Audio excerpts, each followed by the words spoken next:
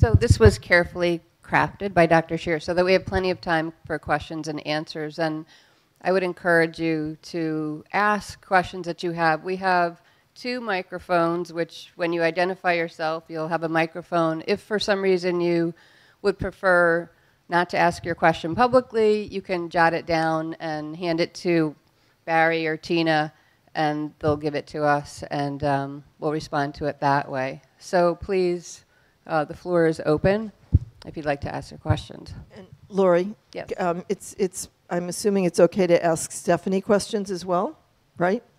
Sure. Absolutely. Okay. We have a shy group. Lori, we got Dr. Cam right here. Hi, I really like to uh, thank you, all three of you and Barry. That is a wonderful, wonderful talk. And I appreciate both the mother as well as the physician. Um, I have three questions. Either one of you can answer, I guess, in a way. Um, it's probably to Dr. Shear. To take the movie theater example, an analogy, my mentor always, whenever we lose a child, used to insist for the parents to come back to the hospital about a month or two months later so that they can actually, you know, close the loop in one sense. So I just want to see how you, your reaction, that kind of a, not insisting, but at least encouraging the family to come back to the hospital, meet with the physician, meet with the nurses, meet with everybody, and go over what happened, what, you know, why it happened. That's, maybe I'll wait for the other two after you. Okay, so you want, you want that answer first. Yeah. I think that's actually quite an enlightened thing to, I mean, I know that you're a lot younger than me, but um, so, you know, when we were training, actually, just a little vignette. When I, when I was in medical school, I was at Tufts Medical School, and I was I, I was interested in attachment relationships in my second year of medical school, and so I did a, a um, I did an elective at the Children's Hospital at Tufts, which had a revolutionary new unit called the Family Participation Unit. That was revolutionary, right?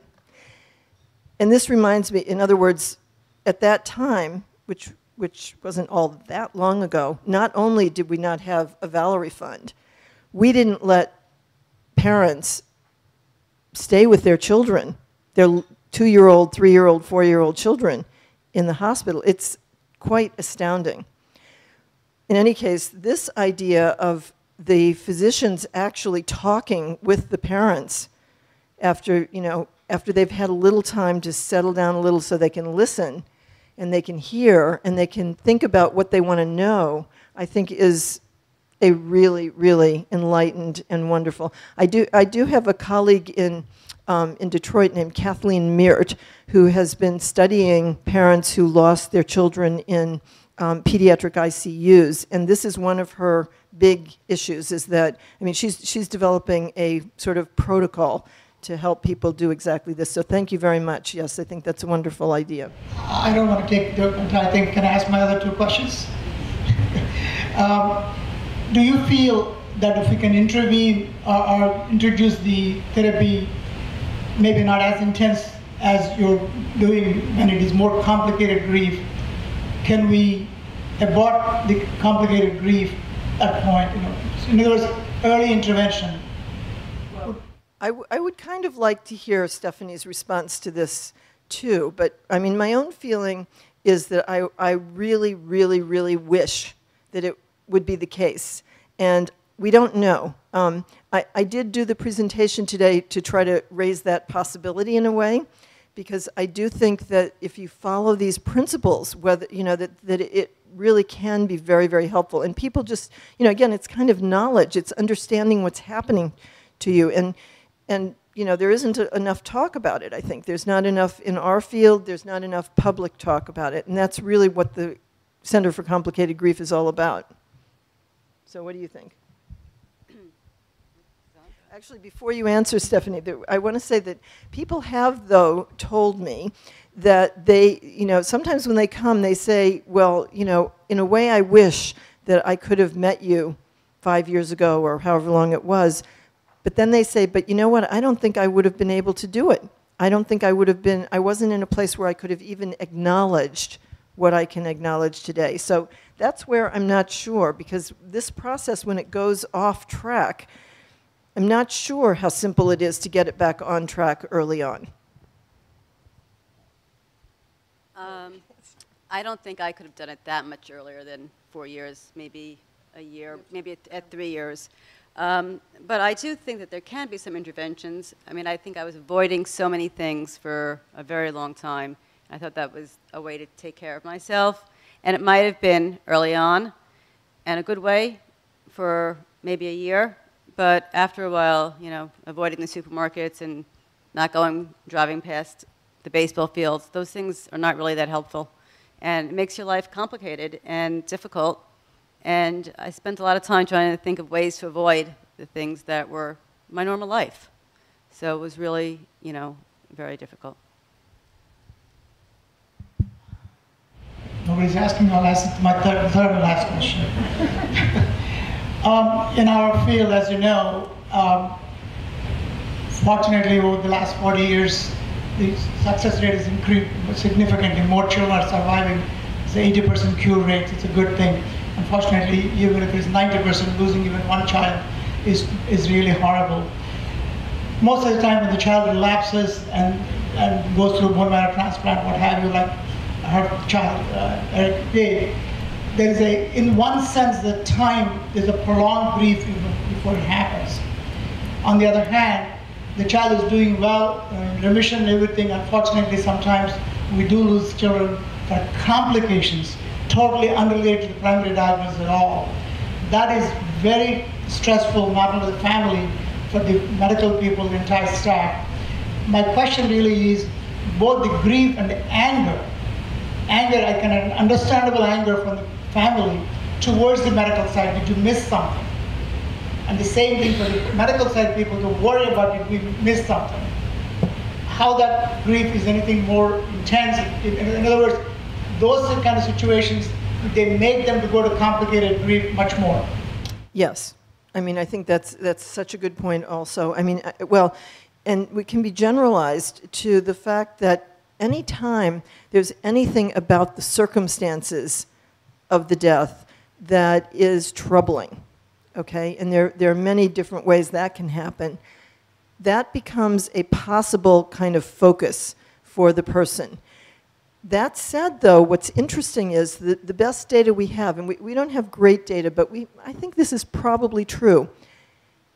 It about doubles that 7% rate. Remember, Stephanie said overall, on average, um, complicated grief occurs in around seven, so our best estimate. So we're getting up, it maybe even triples it, 14, 21%.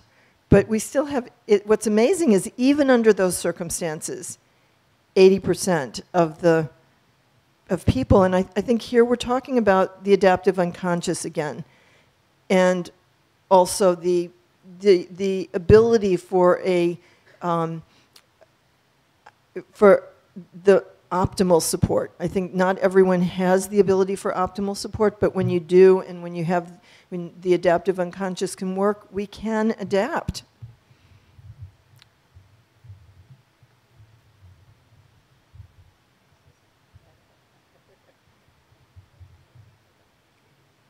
Is this, okay.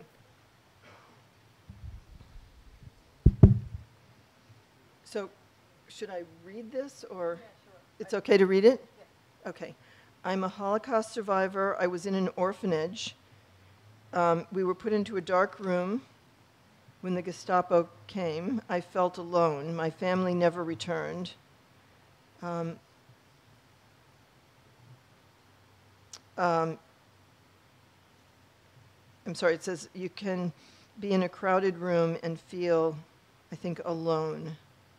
You can be, so as a consequence of that, you can be in a crowded room and feel alone.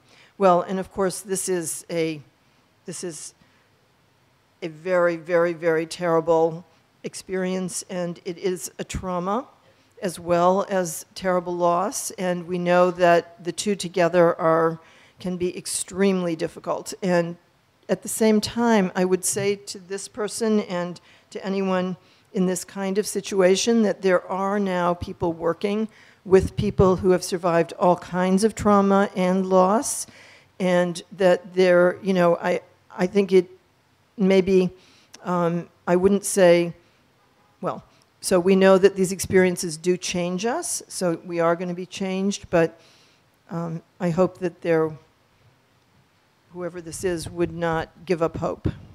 Uh, Can I just ask, do you have access to those resources? So if this person wanted to contact us at the Valerie Fund, we could perhaps We will help share you. that? Okay. Yes, we will, absolutely. Okay. Um,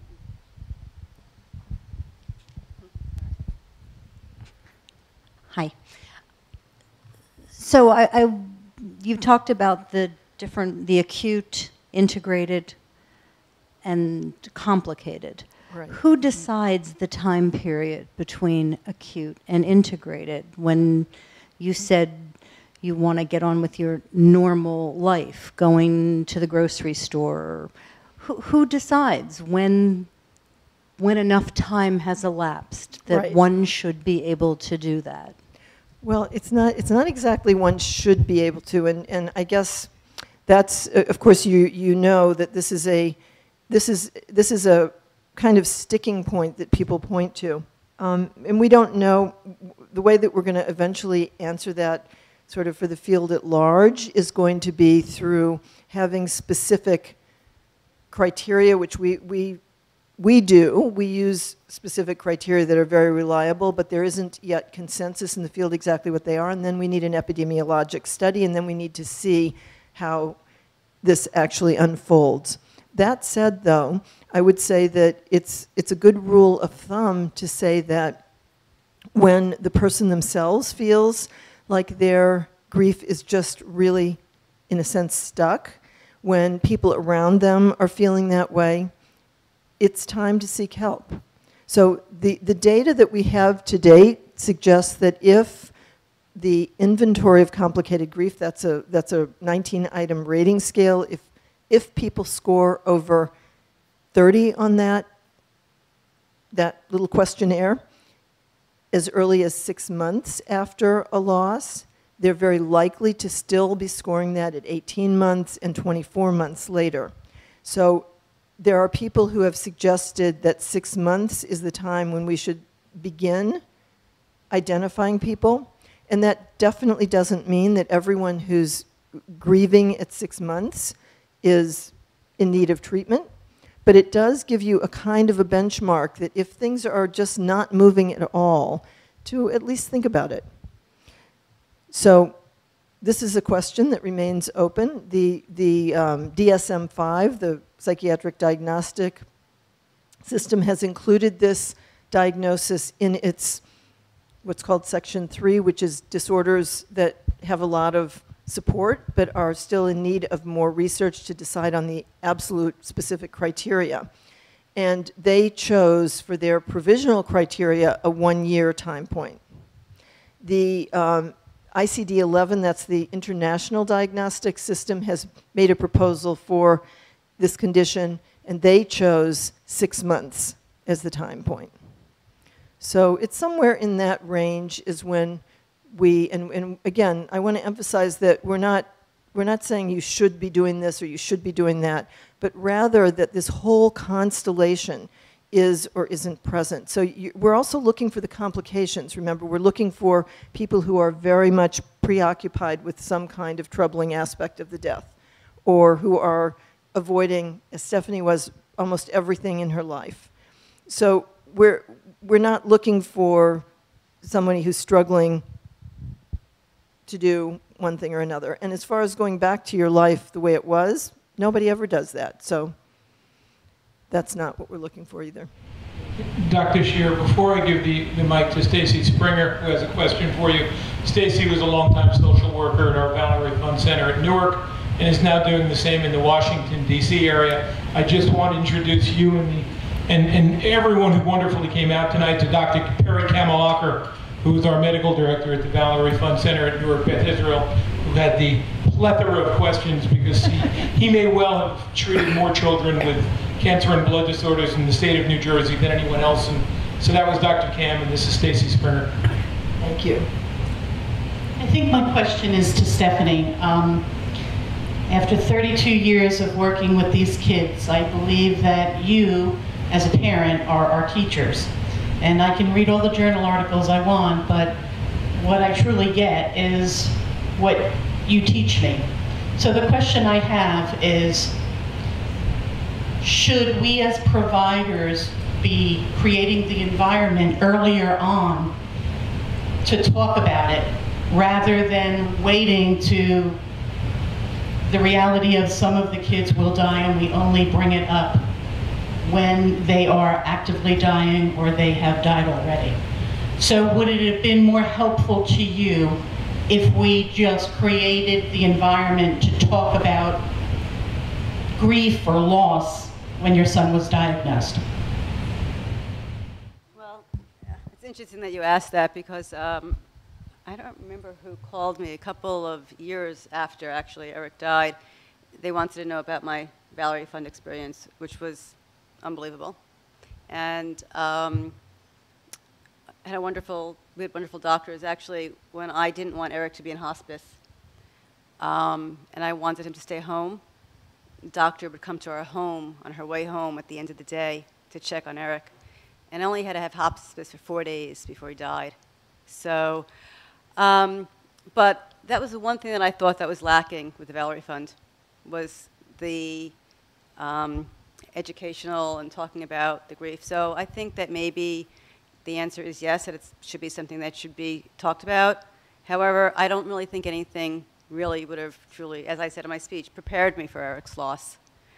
Um, but maybe I could have spoken to my daughter, Lauren. You know, she was just 18 months younger than Eric. Um, and they really never addressed, you know, it was mainly, they never addressed it. And um, just one really wonderful story. Um, a couple years after Eric died, I think that the doctor, Eric's main doctor, oncologist, knew that I was really struggling. And I was very devoted to Eric. I mean, I didn't leave him practically ever. And I was either my husband or I, or my sister in law, or my brother in law. I mean, they were just, Eric was never alone, ever. Um, actually, my nephew was scared one day. and He was left to watch Eric while we sent our kids off to sleepaway camp the year in June that Eric got home from transplant. Um, but uh, she asked me to go with her for chemotherapy. The doctor. Many years, she wasn't working at the Valerie Fund anymore. And I was a little surprised when she called me.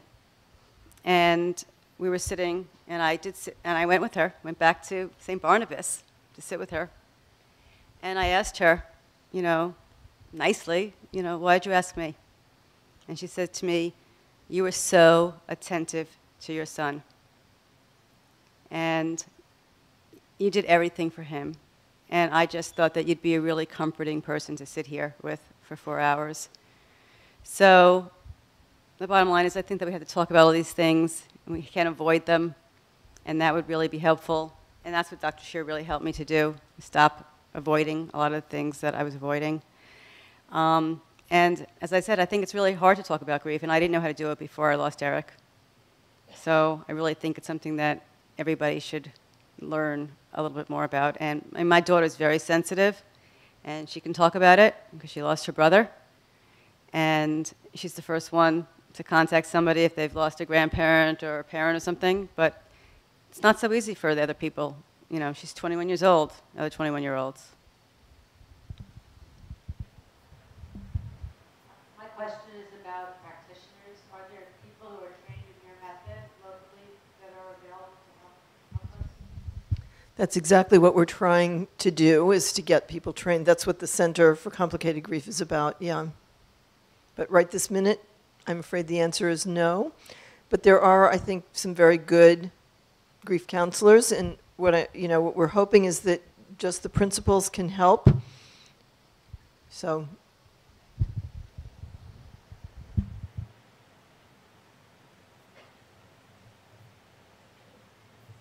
Hi, uh, this was really very helpful for me. I'm actually going through a very recent loss, and I'm getting a lot of value out of sort of seeing the anatomy of this, you know I'm wondering, um, like, what your recommendation is for how people who want to support those who have lost people, um, maybe either, uh, like, how to have the conversation if you see somebody struggling about getting help if they haven't pursued it on their own. So I'm going to, I'm going to ask Stephanie if she would like to answer that, or do you want to? So, y- s- Actually, I have a friend of mine that actually um, sort of told me that I needed help at this point, and I think that people are are fearful of saying that. But honestly, if nobody told me, I probably never would have known because I didn't think that I could ever feel better. So, if you just share it with somebody, I think that ultimately you're, you're doing them the biggest favor that you can do. And you know, if they're upset with you, I got upset with a lot of people during, you know, the time. Uh, You know, I was angry, I was sad, and um, shocked still. But I think there are certain things that you can say, and I think that that's the beauty of what support groups can do also for people, that they can help them recognize if they're not progressing the way that other people, not in the same time frame, but you know, I, I facilitate support groups, and I think that some of the parents there saw different things, and then they were able to either find additional help, or you know, if they decided that they wanted to keep coming back to support groups and that was good for them, you know what? That's really terrific, also.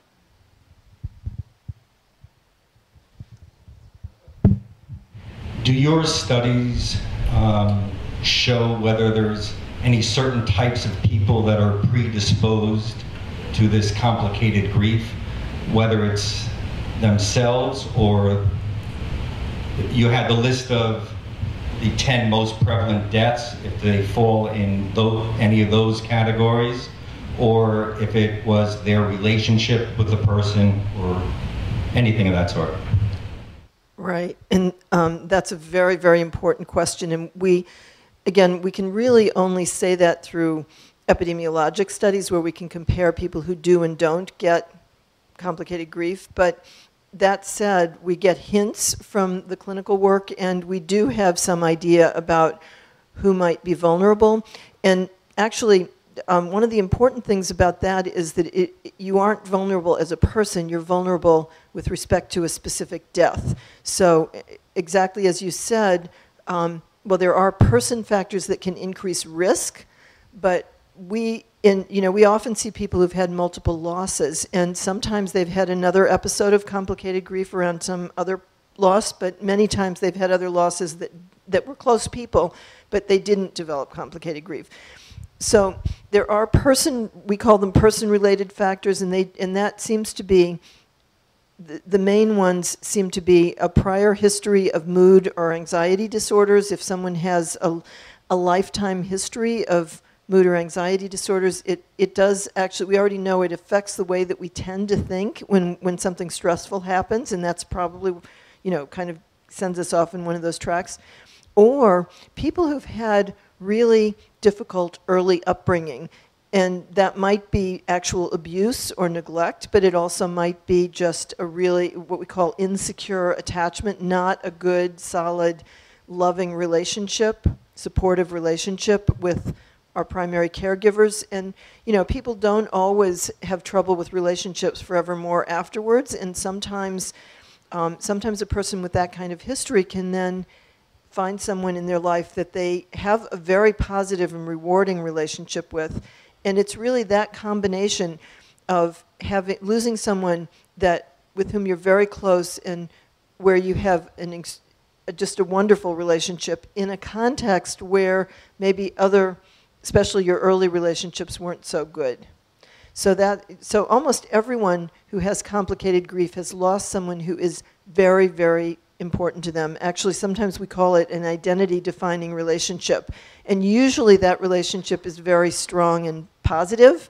There's a, you know, mental health professionals often talk about ambivalent relationships predisposing to problems with grief, but actually that's not what we've seen mostly. We, we've almost never seen that. We, we've seen it occasionally, but mostly it's people who have lost someone who's just been very, very, very important and special, and often their relationship's been even better than most other people's that they know. Then the issue around the circumstances of the death, we talked about that a couple minutes ago, things that are very troubling about the circumstances of the death. So, along in that list, um, certainly suicide, homicide wasn't in that list, but that would be another one. Um, accidental deaths often are especially hard because you can imagine them going, when, when you can really easily imagine another pathway, it can be especially difficult. Okay.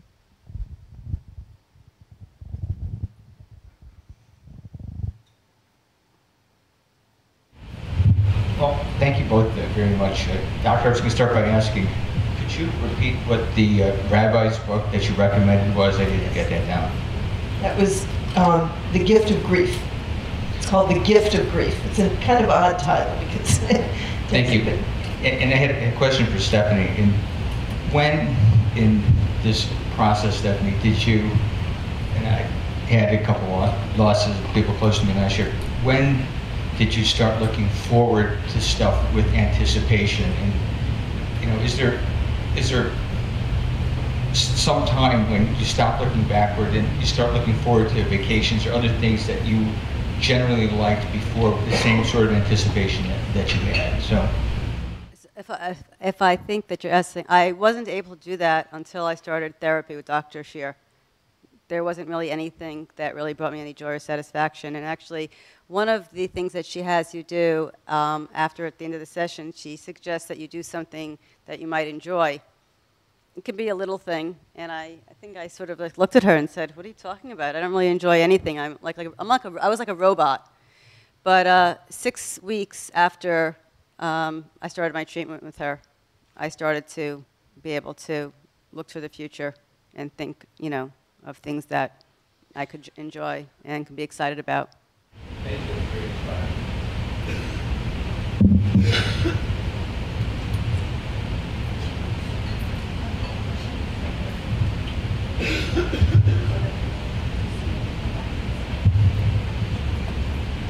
Hi, Stephanie. I'm so honored to be here, and your pain was gut wrenching for me. I, I can I didn't look to my left or right. I can only imagine how everybody felt, because yeah, we can't imagine. But when you said that Eric climbed into the bed with you, it was just really hard to hear. And when I look at you, I think about your loss, but now I feel that you're okay. You're okay. And you're loved and and there is going to be more joy through your loss. And I just wanted to thank everyone up here. It's it's been an unbelievable evening. Thank you.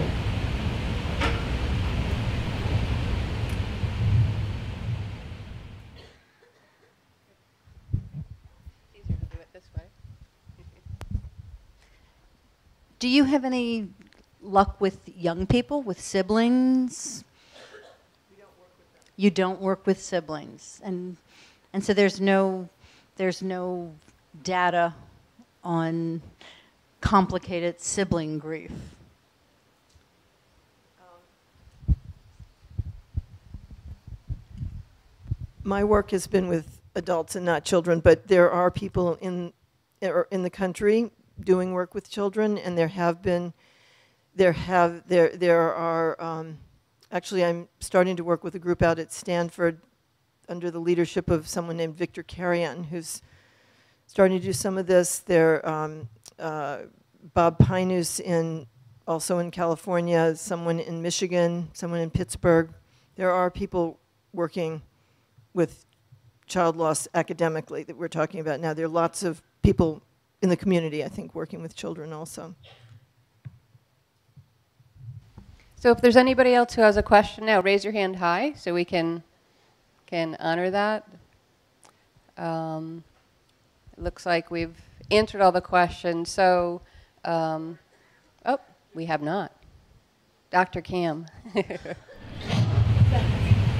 Uh, the question is really, all our centers, all the Valerie centers have social workers, and now I think uh, all of us actually have a psychologist also on our board.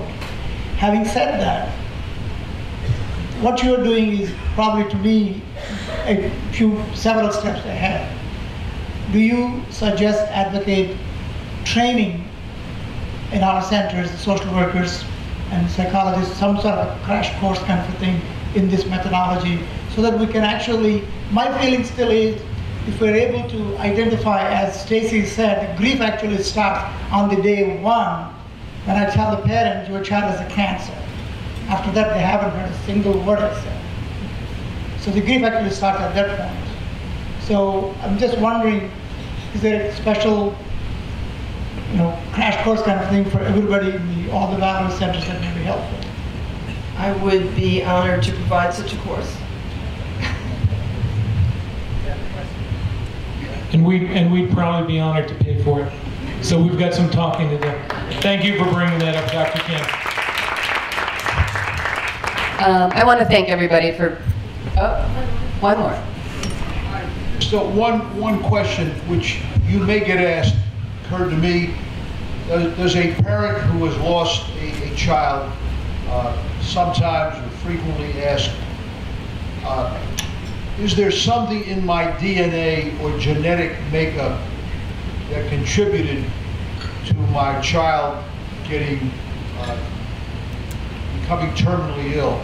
Those that they sometimes look inward and feel that somehow they, some, some shortcoming in their genetic, genetic makeup contributed to the, uh, to the terminal illness. And how do you, if that in fact happens, how do you respond to it? Well, I think most parents, I would say, I would venture to say every parent asks themselves some variant of that question. I think every parent feels responsible. I didn't talk about a whole aspect of all of this, but we not only have a, an inborn desire to have relationships with close others that I was talking about, but we also have a, a very, um, so it's called a biobehavioral motivational system to take care of others, and it's primarily thought to be um, evolutionarily related to parent-child relations. And, and, and certainly, I don't know anyone, I myself, I'm sure if my child were ill, it would be in my thoughts. I think it's in everyone's thoughts. So, so yes, I think, and ge- the genetic cause is just one of many that could be um, raised, but that's a, that's a kind of nice one for us because what we've learned again recently, more recently, what we're learning more and more about is that genetics, you know, is only a little piece of any kind of puzzle. So even if there were some genetic predisposition, probably isn't the determining factor anyway. But you know, I think I think the the whole idea of self-blame is really what this raises, and I think you do want to talk to a parent about how natural it is to blame yourself, and also how basically probably not a good idea it is, and you know, probably also how it isn't warranted.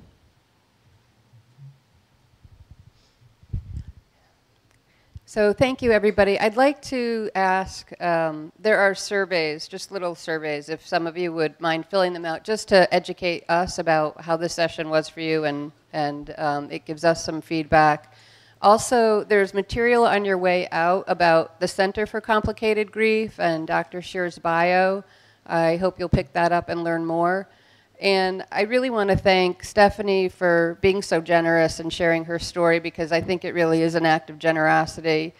And for Dr. Shear to come be with us tonight and to really educate us about such an incredibly important topic. And thank you all for, for being here with us.